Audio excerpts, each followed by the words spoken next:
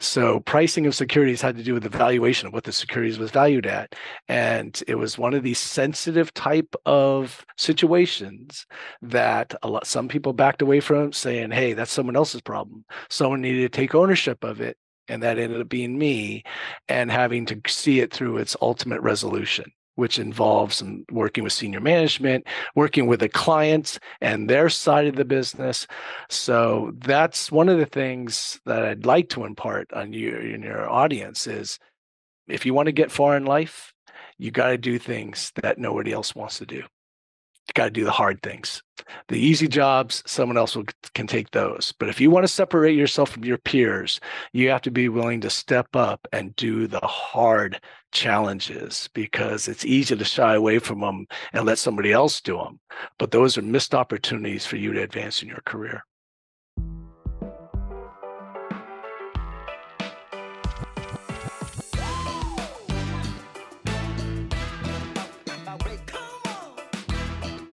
Welcome to the show. Thank you for listening. We've got a great show for you today. You want to be a CFO? We're going to tell you how. We've got Milton Miyashiro on the call today. He, you're going to learn multiple paths in accounting, and there's many of them. You're going to learn the key to achieve the highest roles like global head or chief, COO, CFO.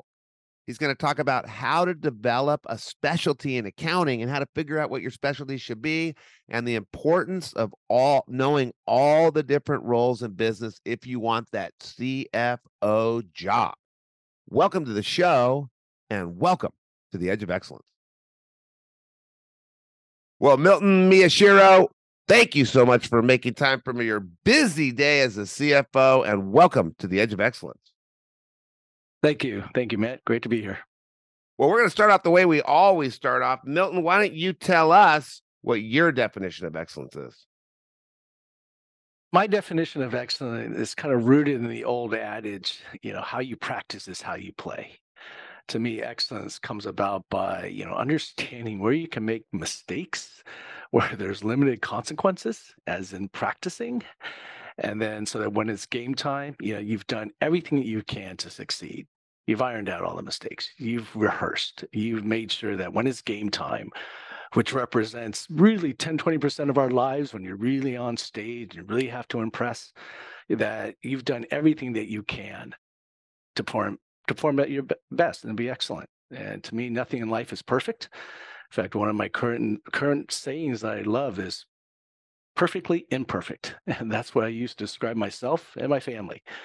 I love the imperfection of life and dealing with it. So that to me is how you strive for excellence is dealing with imperfections.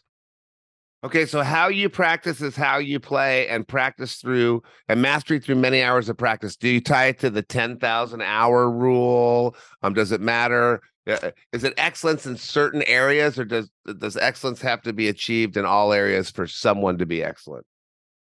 I think there's different philosophies about putting where you put your time in and whether you want to become the expert, the greatest of all time, the goats, right? It's there's that, but I think excellence as far as my path to becoming a CFO has been understanding what you can and cannot do that's the most important thing is compartmentalizing the things that are obtainable and the things that you just have to leave behind and that is creating the focus and the clarity to get where you want to go in life and to achieve excellence doesn't mean you have to be excellent in everything.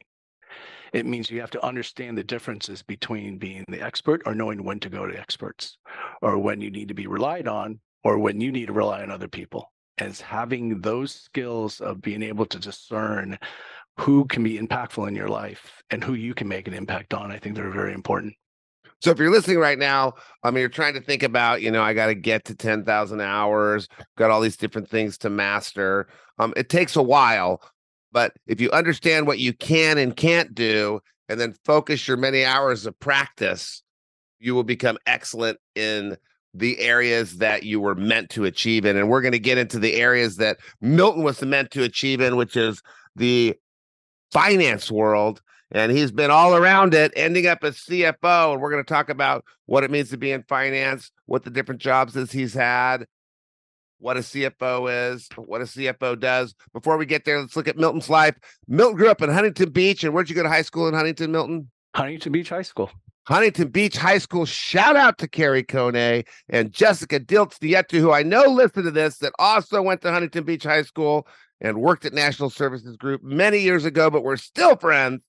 God, I love Huntington Beach High School. And were you uh, an excellent student? Were you an overachiever? Were you crushing it in high school?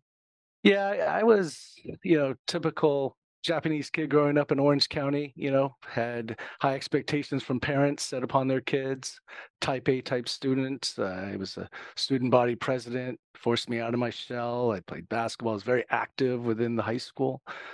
I have to admit, I was probably very immature and an arrogant ass in high school, you know, and that classic question, what would you say to your 18 year old self back, you know, if you had to look back now and give them advice is to get over yourself, buddy. you, you got a long ways to go. And if you think you're smart now, wait till you get to college, wait till you get beyond college, wait till you get to real life. Life has a way of humiliating you. And I think success in high school doesn't necessarily breed success in future life. It's all about what you do in the moment. And and that's one of the things that if I had to caution anyone is, you know, it's easy to get good grades. You work hard, but it's all structured and it's all planned and there's procedures that teachers have to follow, the school districts have to follow. But it's what you do outside of school that really matters and that's what I think helps sets up young people for their careers in life. You mean after or during? Both, a little bit of both. You know, the school provides a very, in my opinion, a very safe environment to succeed. You know, it gives you the path. It shows you what you need to do to get good grades, but it doesn't necessarily show you what to do beyond the schoolwork and the academics. And the soft skills in life, you know those are the skills that i think develop professionals and most people in school and high school you talk about what do you want to be when you grow up? That's great to have goals and dreams and i want to do this and work towards it but percentage wise the number of people that actually end up staying in the profession that they thought they would is surprisingly few. Most end up deviating and basically adjusting and that's part of life is adjusting to where the opportunities are and having the courage to take those opportunities. Yeah, yeah so uh milton's not saying don't get good grades. He's saying that that good grades are not as important as the stuff that you're doing outside and um, you you don't get to be CFO, you don't get to be CEO, you don't get these big jobs if there's not a path the basketball. We've heard it on this show many times the basketball, the student body president, the club you started, the job you had. Um, you know, that's where the interpersonal skills, that's where the leadership skills, that's the foundation for that. Um, the academics helps you figure out a profession. And Milton just mentioned you're probably going to change, study say, your career six times. So if you're really good in science and you're studying to be a doctor, you can use that academic education, but if you decide not to be a doctor, it's all the other stuff that will help you succeed in whatever you do. And I've seen people go from doctor to lawyer to business person to someone starting a charity, you know, crazy changes. Um, so you're you're looking back and it's the basketball, it's the student body president. Those things are giving you the the skill set more than the math classes that you you also needed, but you don't become CFO without basketball, but you can become an accountant with just the uh the accounting classes, right? I agree. Yeah, I, I, yeah, you're right. It's getting good grades is important. Studying is important. But I listened to one of your previous podcasts, and just being present and showing up is even more important. Don't waste your time. Don't waste other people's time. If you're going to go to class, be there, be present, and bring your game. Is what it is. You know, if you're sitting there playing games while the professor is talking or the teacher is doing something, you know, you're just wasting everyone's time, including your own. So if you're going to commit to something, go all in is what I like to live by. Yeah. So mastery through met through many hours of practice. You know, student body president is a few hours of uh, leadership. You know, captain of a team is a few hours of leadership. Jobs is a few hours of customer service interaction. You know, sales building skills, and you build on that and build on that and build on that. And so Milton goes from Huntington Beach High School, which is Huntington Beach, cool place by the beach, uh, you know, kind of a hip environment and time for college, and you go all the way to the cold white north to Notre Dame, and Notre Dame, you majored in uh, what did you major in? accounting. Accounting. Majored in accounting. And yeah. so, coming out of high school, you kind of knew you wanted to go into accounting. no, no, I didn't know what accountants did. Okay. I so, how'd you uh, figure it out? I was uh, entering my junior year, and they say you had to pick a major. You can't just be floating around with general ed classes. Pick a major. And I was in my dorm, and there was a bunch of accountants that had like looked like they had a lot of have fun. I mean, they were great students, smarter than hell. And I said, "Oh, maybe I'll pick accounting." I had no idea what a CPA was. Huh. Turns out to be a tough, tough major. Accountants are like not for everybody. Yeah, yeah. but I gutted it out, and uh, it was a great decision because it set the foundation for my business career and my financial career. Okay, I do want to ask you about one thing. You said uh, you would go back in time and tell yourself to not be an arrogant ass, and that's interesting. so, what if you weren't? What if you were a timid, kind of scared, uh, lacking confidence? And I wonder, is arrogance just unearned confidence? And it's like, I think I can, I think I can, fake it till you make it. Would you really not want to be arrogant?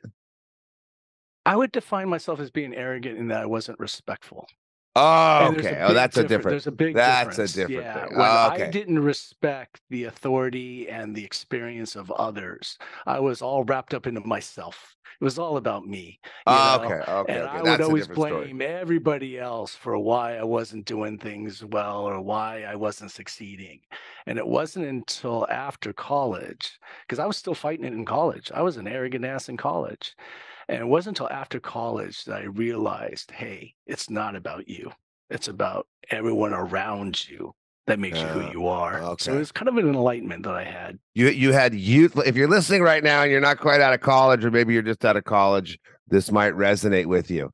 You can think you're cool. You can be the the head guy on campus. You were the fraternity president, the best fraternity with the cutest, whatever.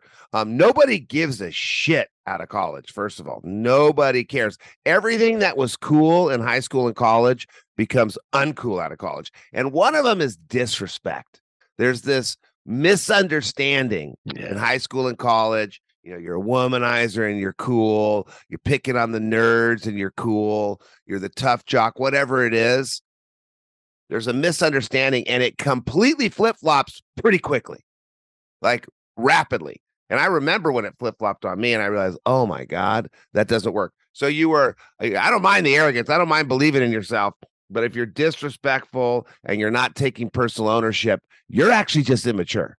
You're just immature. And if you're listening right now and you're tired of those people, they're done in a couple years. They're done by the time you're 25. It's cool to be respectful. It's cool to take care of others. It's cool to understand differences. It's cool to, you know, treat women well.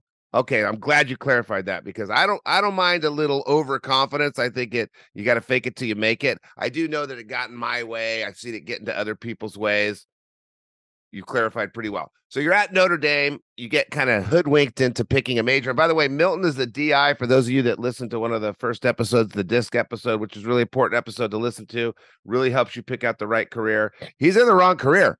He's supposed to be a he's supposed to be a high C if uh if he's an accountant, but to be a CFO, you kind of need that D and that I. You need to influence people. You need to drive people. You can't just be a numbers cruncher. So you're sitting at Notre Dame. You get this great degree in this great major, and then straight out of uh, a college, you go to Bear Stearns. No, actually, so talk about humiliation. You know, all my peers at Notre Dame are getting these great jobs right out of school, right? They're all recruited on campus, and I graduate with barely a B average in accounting. And I'm saying, God damn it, you know, what's wrong with you? Did you just waste four years of your life? But my senior year, I studied my ass off outside of school to sit for the CPA exam. And in May of that year, I passed two of the four of the hardest parts of that exam. I didn't find out until August. So I basically came back to California with a tail between my legs, saying, Parents, thank you for helping with my education, but I'm going to go, go to a penny saver and find a job and landed a first job at a local CPA firm. And I then learned that I passed two parts of the CPA exam. And I said, you know what? Shit, I could do this. I could do this if I put in the work. And it didn't, grades didn't matter at that point. It's about what you could do going forward. And that CPA firm was local firm in Orange County. Oh, that's right. Gave me an opportunity to say, "Hey, I can make a, a, a go at this," and I did. Did it for three years, and then I went into mortgage-backed securities and the taxation of that. And I got my master's in taxation part time at Golden Gate University at nights. Again, putting in the extra time, uh, part time at nights, and, and then it launched my career into the finance world, and that's how I ended up at Bear Stearns in New York. And uh, and remind me about that accounting firm. You you liked it. Um, you uh, were kind of figuring out what you know corporate accounting is, getting into taxes a little bit. But was that a job that just kind of had a low a low ceiling? There wasn't a lot of advancement, and that's why you started to branch out to mortgage backed securities. Yeah, exactly. A lot of smaller CPA firms, you know, like a lot of CPA firms, there it's a pyramid structure. You only have so many partners, you have so many managers, and you have a bed of seniors and associates and all that. And like most places, if you don't see yourself on that partner track, you have to make a decision. Do I want to stay in public accounting or do I want to venture out into something else? And I decided after being a senior in three and a half years there that I wanted to do something different. And I got recruited to do taxation of mortgage backed securities. And that was an interesting time in the early 90s. You know, that's when Orange County went belly up. And they went bankrupt because they had bad investments in these mortgage-backed securities. And that kind of launched my career from a tax side, specializing in a very unique part of the uh, Internal Revenue Code. And that's what kind of launched my career onto Wall Street.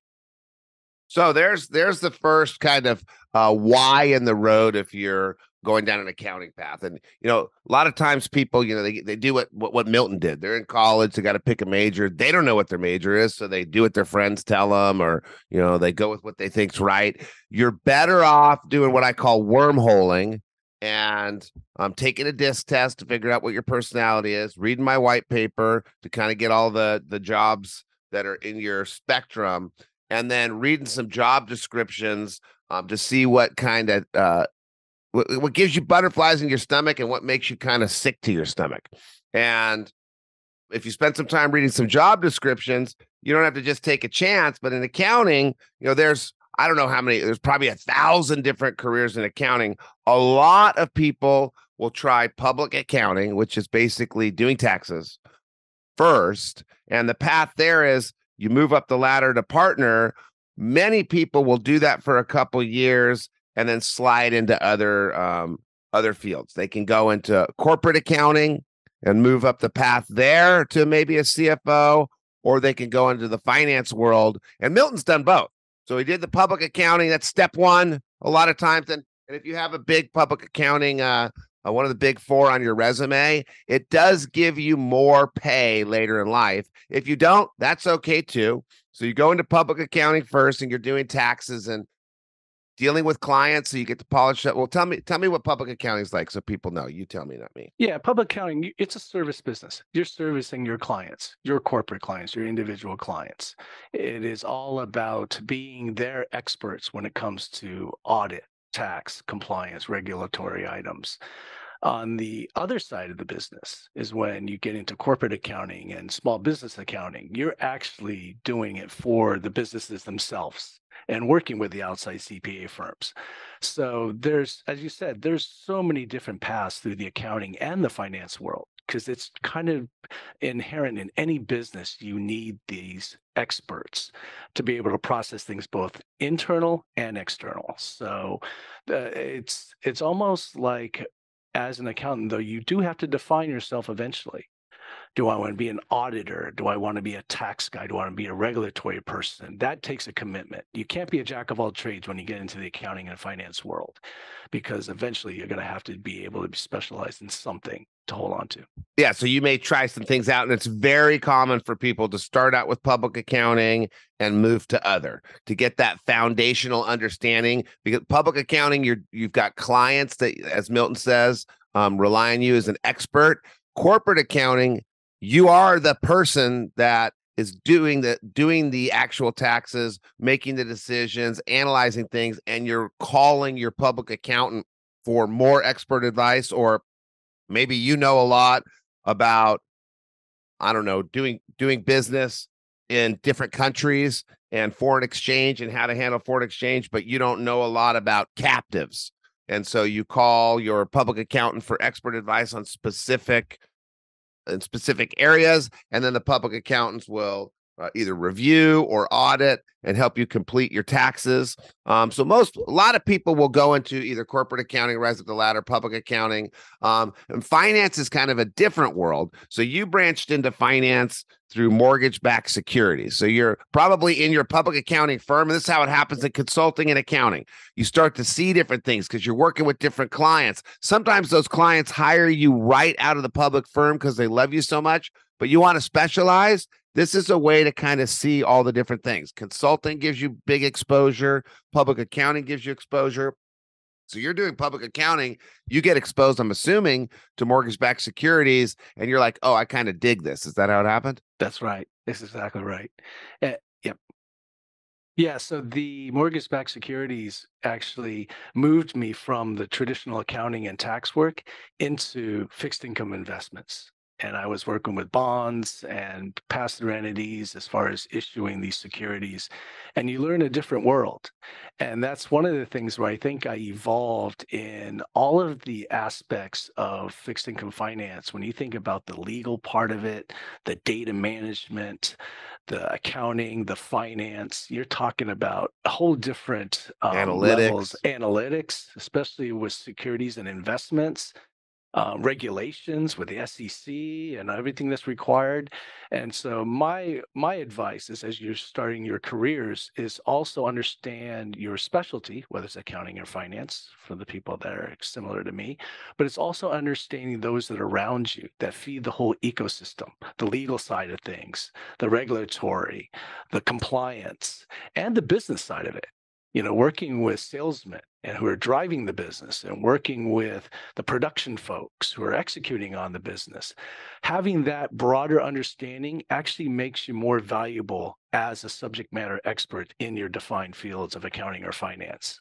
Or anything else. Or anything or else. anything else. You want to be a CEO, you better know a little bit about accounting. You better know a little bit about law. You better know a little bit about operations.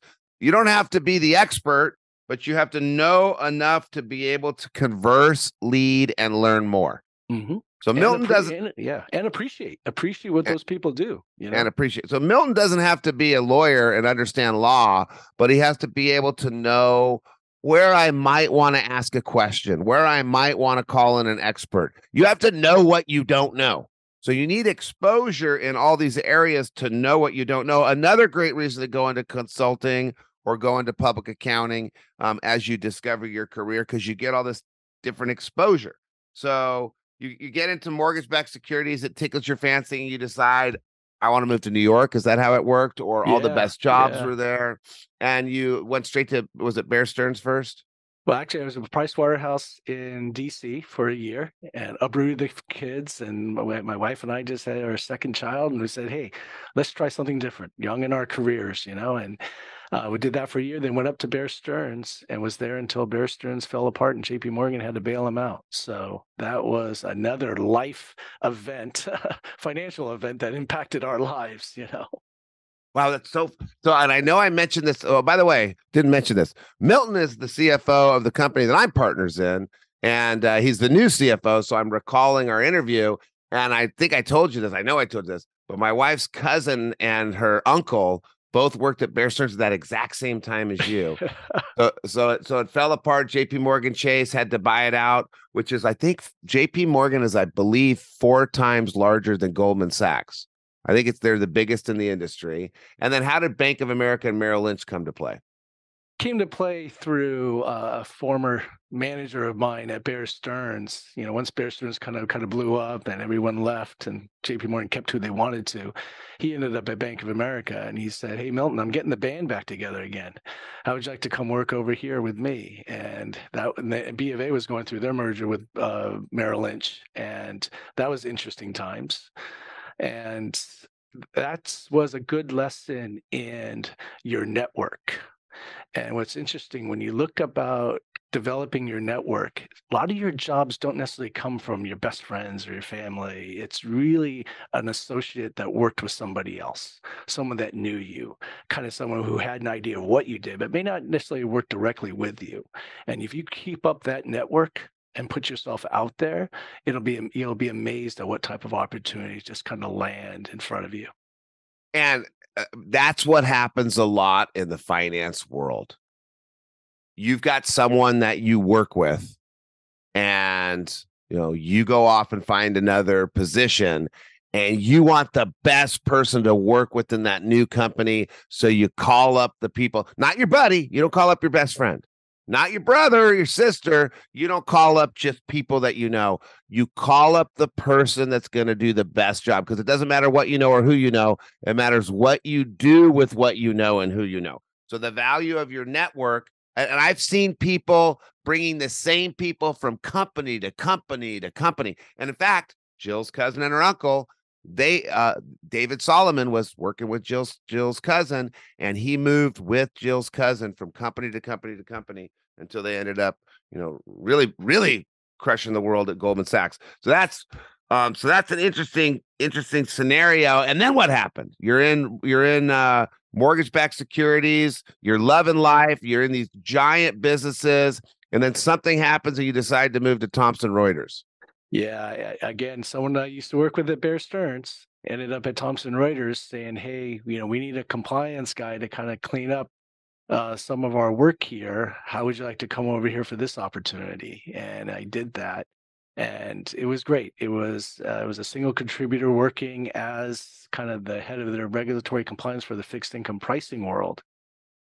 Did that for three years. Got their first SOC 1 report, which is a compliance report uh, done with Ernst and Young. So I initiated that, and that was a great experience to learn that business, that part of the business through audit because when audit you get to see things you get to develop the programs to review other people's work and it's a learning experience and that's one of the things as an auditor you realize is there's things that you can bring to help processes improvements by pointing things out and then on the other side being audited. Everyone hates it but sometimes it's not a bad thing. You get to kind of discover and look sense of transparency of what really is going on and where there are opportunities for improvement. Well, I know I always loved the reviews and the audits that I that I've had on different boards because of the audit report, which is so eye-opening. And I can just imagine being the person that goes from company to company to company, actually auditing and seeing how everybody does things right and wrong. I mean, imagine how how great you would be as an accountant if you were an auditor first, watching what everybody did right and wrong and all the right ideas you would be able to take from business to business to business. So let's talk just for a second about what all these different roles are and maybe dig a little bit more into auditor. What's an auditor? Um, then we'll get into what's you know working in mortgage-backed securities, and then we'll get into what's regulatory compliance, and then we'll get into what a CFO is. Uh, but why don't you tell us? You know, you come out of uh, college, you go into public accounting, and you weren't an auditor there, though, were you? You know, yeah, everyone has to be to get their CPA. You have to be some Okay. form of audit. A CPA is such a broad designation that includes tax, it includes audit. You got to be able to look at inventory and financial statements. So all CPAs at one point were auditors in their careers. Oh, and what exactly is an auditor? I don't know. We've talked about it a little bit, but what are we missing? Yeah, an auditor is basically someone who reviews the financial statements of somebody else and signs off that what is being presented is fair and reasonable. And eh, you know, an unqualified audit opinion means that it's a clear reflection of what the reality is today. If you have a qualified audit opinion, there's some issues, there's some problems that have to be disclosed. So the you know the ultimate goal from an auditing standpoint, especially financial statements, is to provide clean financials.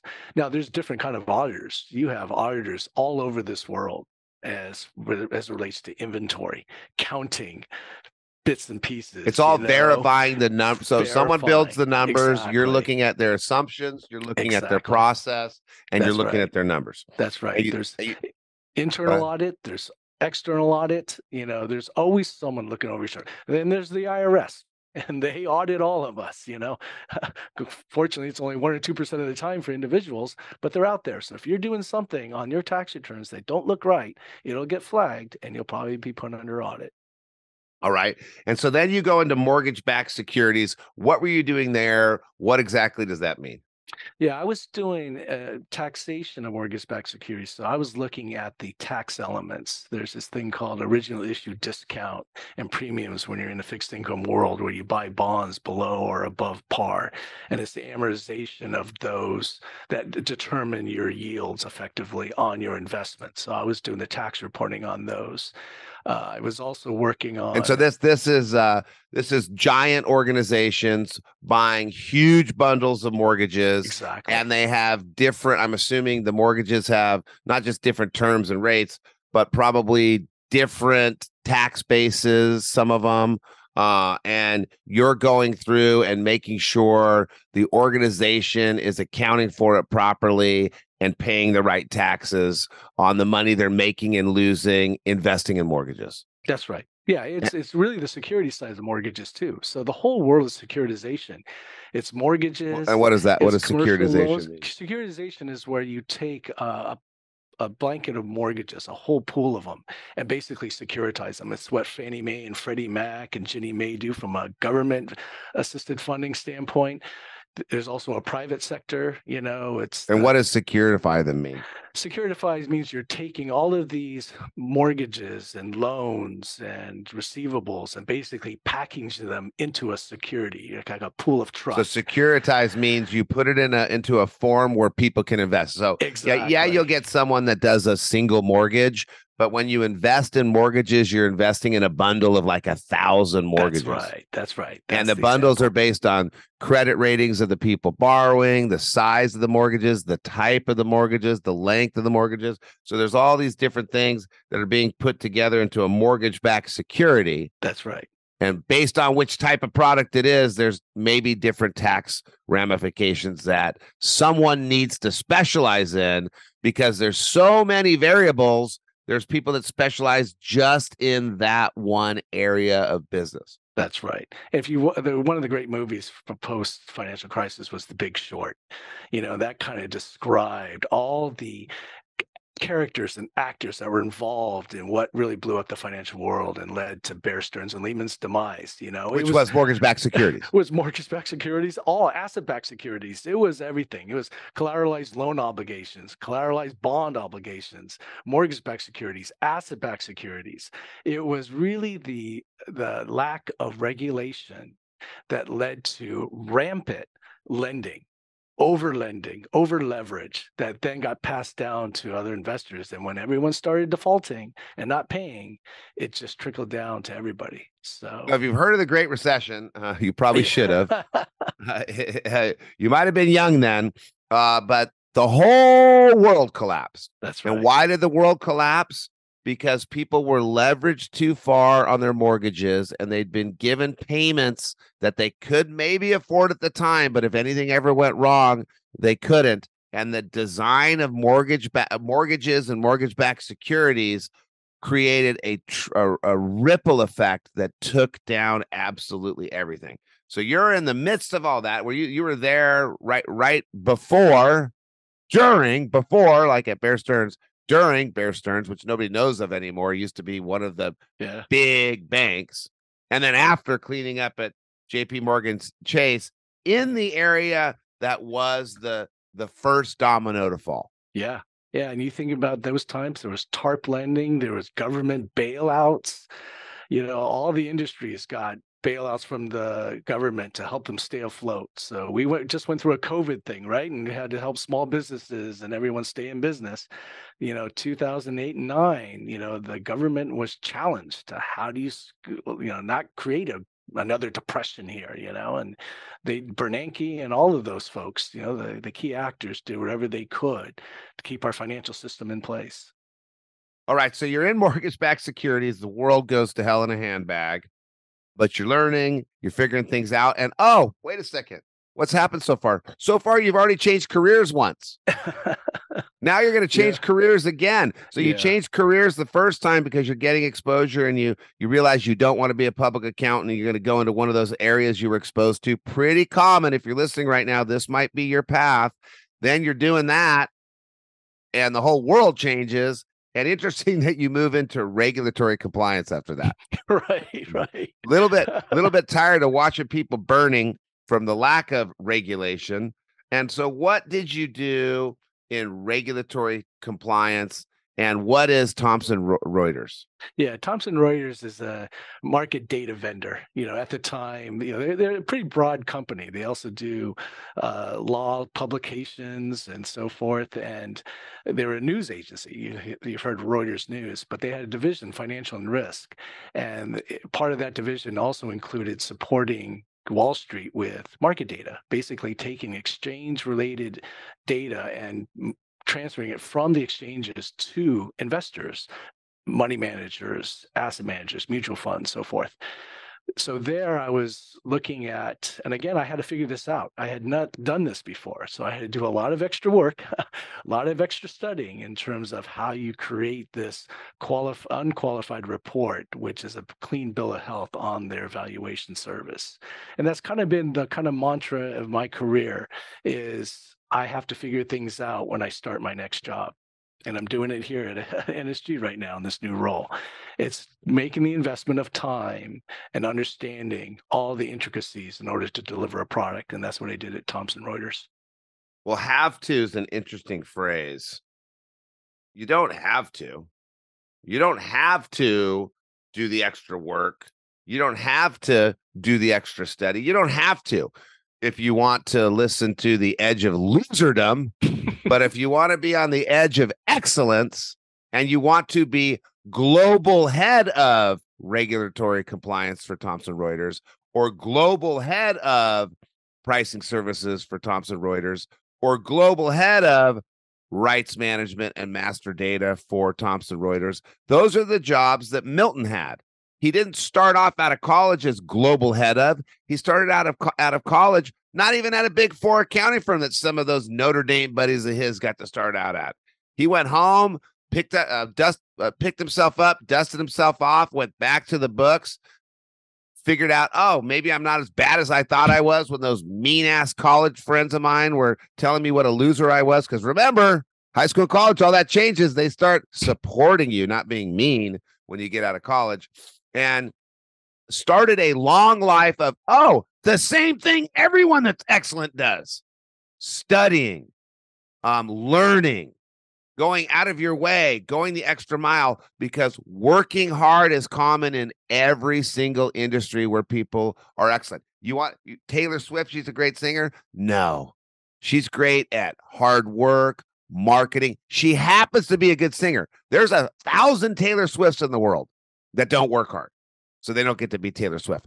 There's a thousand Miltons in the world that, or probably millions of those that don't work hard, but they don't get to be the global head of, they don't get to be the chief of, because it always takes going the extra mile, figuring out what you want to learn. But what's what's really fascinating about you, Milton, is you're figuring out these little areas where you want to learn. You're kind of trying things out and becoming an expert in these different areas. So what is and, and and we know the path to well we don't know it, but we got some some enlightenment in the path to global head of and leader. It's getting in there, working, doing homework, signing up for classes, reading books, listening to podcasts. Um, I I go to conferences all the time, you know, whatever it is, but it's a focused learning on being better. What does it mean to be uh, in regulatory compliance and then again, what does it mean to be in pricing services? It it, it means as far as this learning journey goes, it's surrounding yourself and making connections with people that could teach you things through conversation. You know, you have to surround yourself with smart people. What but what is what is exactly regulatory oh, regulatory compliance? Regulatory compliance is really about um, understanding how the rules of the road work from a either the governments or through industry. There's certain best practices that have that need to be followed. And you're and making sure those. that that Thomson Reuters, That's which is right. building data decks and giving the information to Wall Street that's going to control investments, which is all regulated that's right. and sometimes comes with criminal penalties. You're making sure that they're doing things right. That's right. Because you would in- back in the 2000s, early 2000s, you had actors like Enron and WorldCom all blowing up because no one could trust their financials. And you look at crypto and Bitcoin right now, right? It's going through its actors that are because of no regulation. because of no regulation. And that's all of the Sarbanes Oxley came out and created a whole new industry of regulatory compliance. And you see it now even in in data platforms. You know, you see it in cybersecurity. There's a whole industry right now of people going into cybersecurity audit to make sure to find the phishing scams and everything that's going through the internet.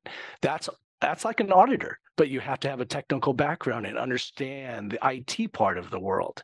And that's where the worlds collide between audit and information technology. And you see things morph and evolve as the businesses change. Wow.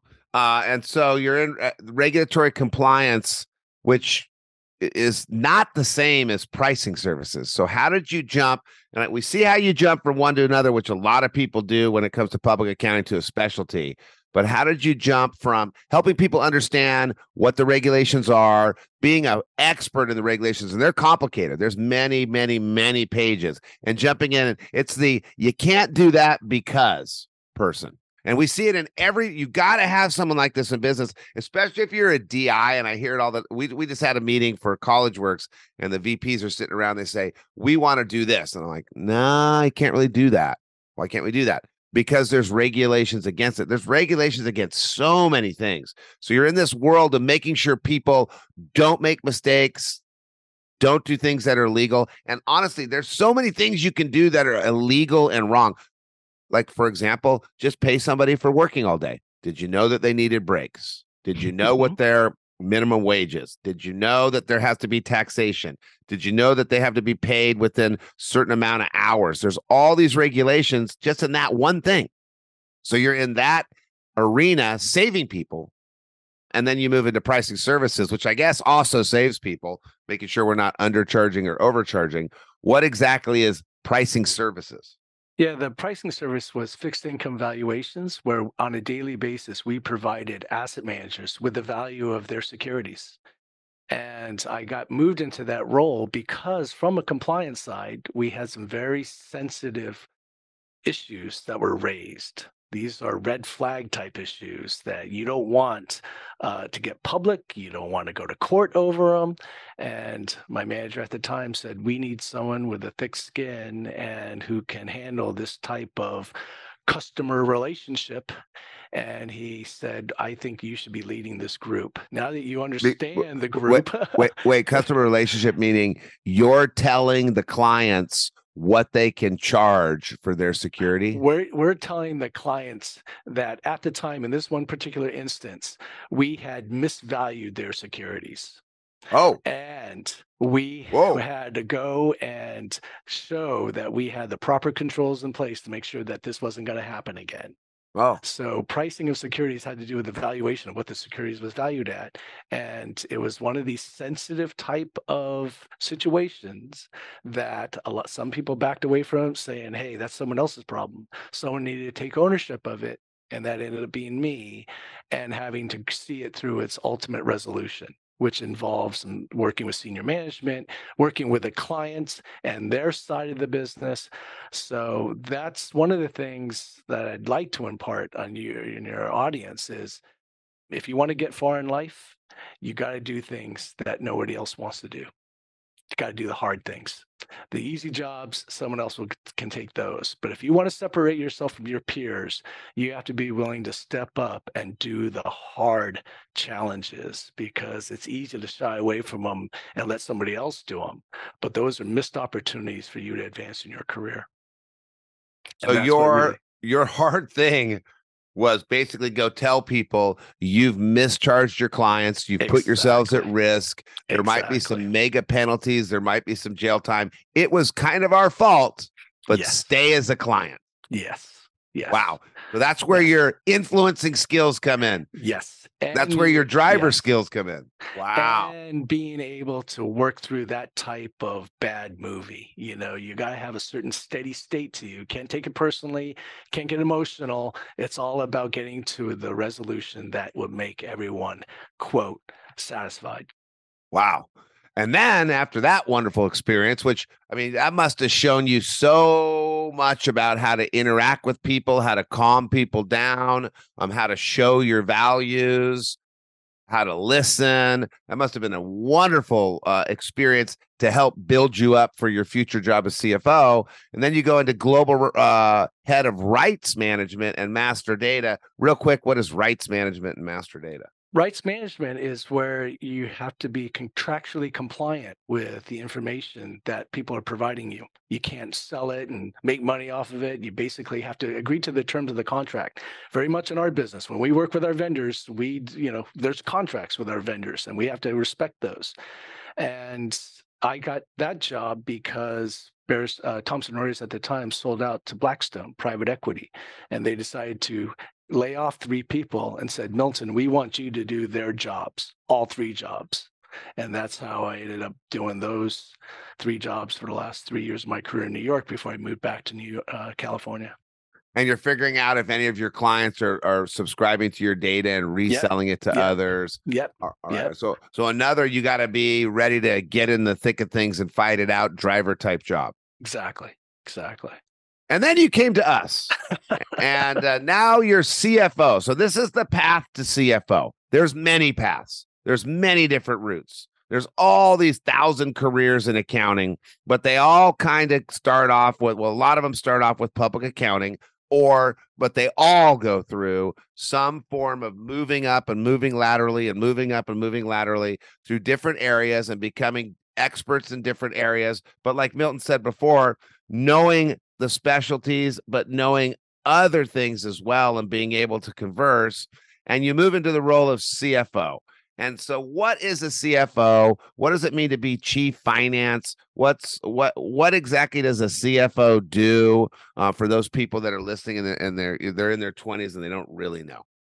A chief financial officer, you know, really has the broad purview of everything finance driven. And that includes the accounting tax, uh, cash flow management, uh, working with where you invest your money, working with the CEOs, working with the the business in terms of managing the finance of a company. Cash in, cash out, however you want to define your profits, it all comes down to the use of cash and the sources of those cash. And that's what a CFO is really designed to do is be able to translate to the CEOs who are great at building a business, who are driving the business and put the numbers, the, the compliance with the taxes, the strategies in terms of what's the best entity to work on.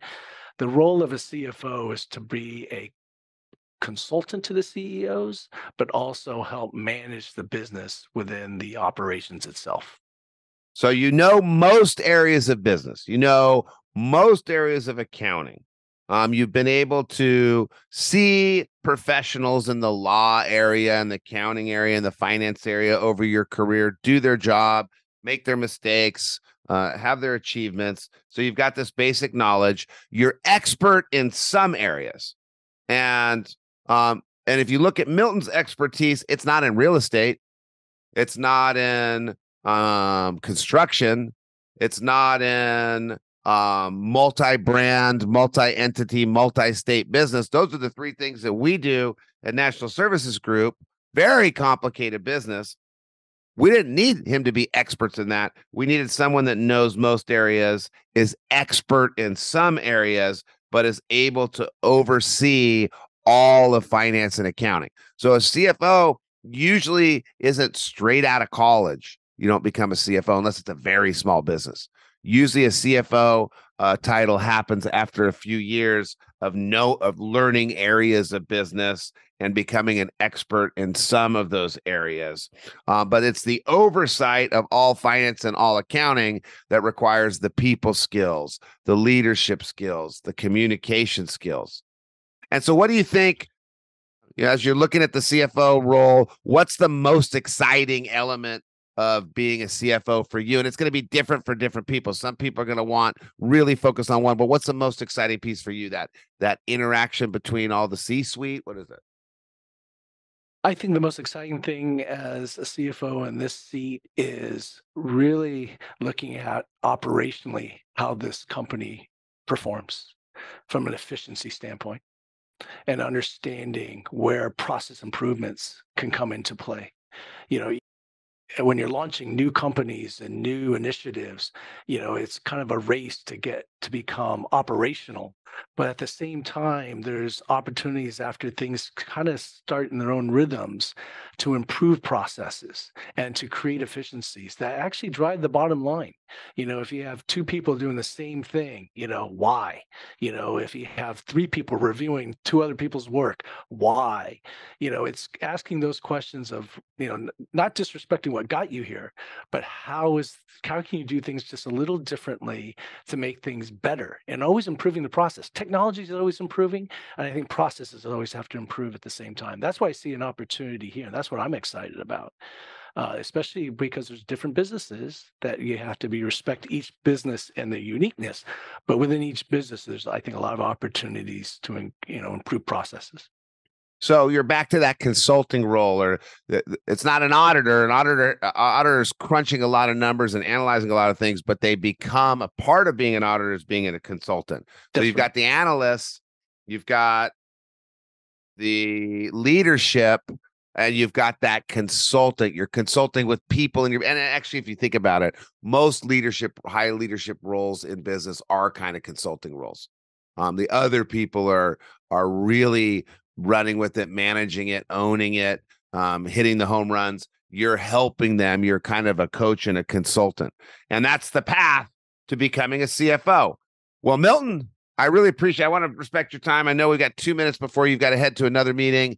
I really appreciate you making time to come on the edge of excellence and share with everybody this career path. Thank you for making time today. Great. Thank you, Matt. Enjoyed being here.